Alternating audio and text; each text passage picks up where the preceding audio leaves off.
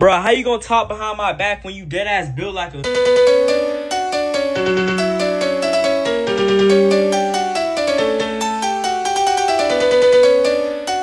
Thank